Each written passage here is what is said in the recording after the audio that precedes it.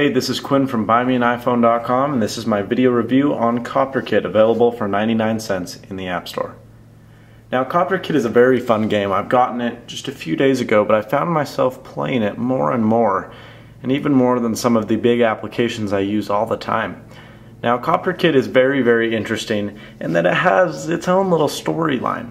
Now the story is is uh, there's two sisters, Cassie and Calvin, and Cassie and Calvin are brothers and sisters, and they went into a cave one day and found a pair of propeller hats. Now, this was quite unusual, and they were able to control these propeller hats and fly around the world with their mind. Now, naturally, Calvin and Cassie were targeted by scientists, UFOs, Zeppelins, and a bunch of other things that were trying to get them down.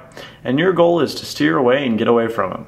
Now, this game reminds me a lot of the classic game Helicopter where in helicopter you hold down the screen, it lets your helicopter go up and down, and you're able to steer and get out of the way of obstacles. Well, this is the same idea, but it's a little bit revamped. Now, the thing I really like about Copter Kid is the graphics are incredible, very well done art, and the music is very, very catchy. So let's get started. Let's say we want to be Calvin. We simply select Calvin from the menu, and it loads relatively quickly. So all you have to do is touch the screen to fly up. That'll begin your game, and based on the distance you go, that's the number of points you get. Now I only went 17 feet, 17 yards, I don't know the measurement, but I only got a very few points because I crashed right off the ground. But as you go into this game, it's going to get a lot harder and more obstacles will come upon you. Now everything is an obstacle, those sheep, those zeppelins, that UFO, that house, that airplane. So these things are all trying to kill you, and it gets really, really tricky and difficult as the game progresses. Now, your goal is to steer out of the way of these, and you simply do that by pushing Oh. Had Calvin had any jewels, that would have been painful. So what you do is you control Calvin by holding down. When you're ready to let him go down, you let go. When you're ready to have him go up, you hold down the screen again. So up is pushing, down is letting go. By pushing the screen with two fingers, you're able to pause the game and come back later to finish your intense game of CopterKid. Now there's a bunch of different sceneries as you progress further and further, cities, other places, and other areas that you're able to go into. There's also night and day modes, and it gets a little bit trickier as time goes on. Now me, I'm not good enough to get to these levels, and uh, it is a bit of a difficult game. Now the good thing about this is unlike a lot of games in the App Store, you don't have to spend hours and hours getting good at this. Oh, it's more of a talent game in that it's timing, counting, precision, uh, fast reflexes, and it's not really skill or thought involved, so you don't want to crash into those sheep. Now it does have an online leaderboard. Uh, before we get to that, we're just going to select Cassie as our character. It's the same idea, same mode. You do the same exact thing. You fly around, and uh, it's very, very simple. Now, if you can tell, the graphics in this game are incredible looking. I mean, even though it is a cartoon, the art is just really, really, really well done.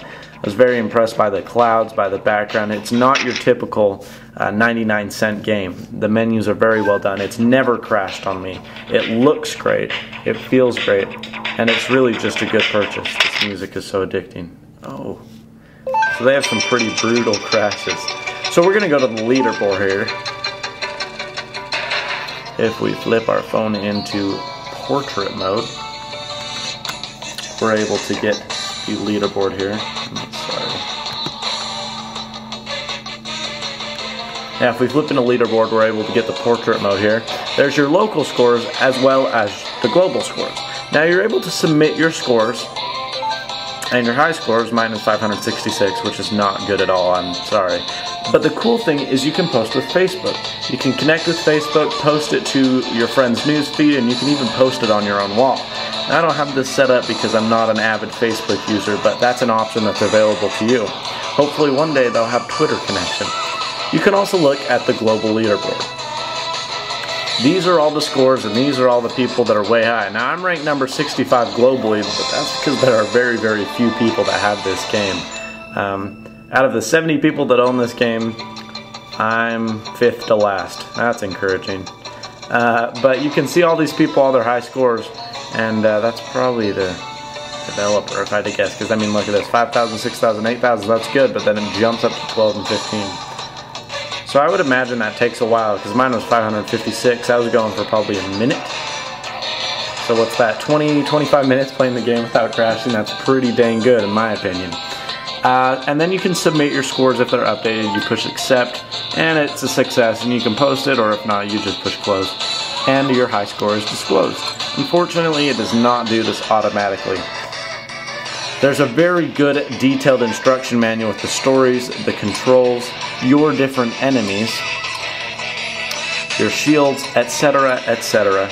And shield I didn't really touch up on. The shield randomly appears in the game and you're able, you have to crash into it, you have to collect it. But uh, Copter Kid will have 30, or not 30, 60 seconds of vulnerability. This is huge. It's really, really cool.